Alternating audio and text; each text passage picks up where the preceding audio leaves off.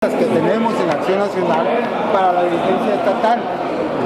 Ah, así como mi respeto para Roxana Rubio, eh, eh, por un lado, y por la otra, en este momento que se encuentra Verónica eh, Montaño Cisneros, que también es aspirante a, la, a la dirigencia estatal cosa que tiene que ser historia precisamente en el Partido Acción Nacional eh, a nivel estatal eh, por ser mujeres.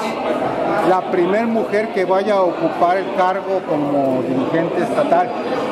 Así como, por ejemplo, Lalo, Lalo, Lalo, que es una persona reconocida dentro del ámbito eh, del panismo y, y que va como secretario general al respecto y, hay mucha gente, nuestra militancia aquí en Mazatlán, hay un respaldo total y definitivo hacia, esta candidatura que Verónica encabeza.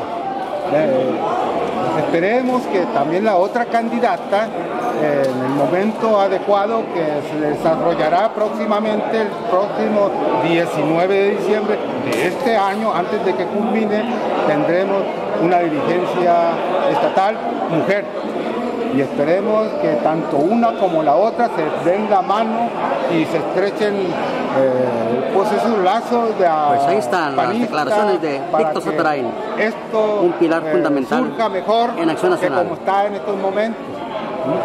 Eh, esperemos que esto así sea y yo darle en lo personal las gracias a mis compañeros militantes.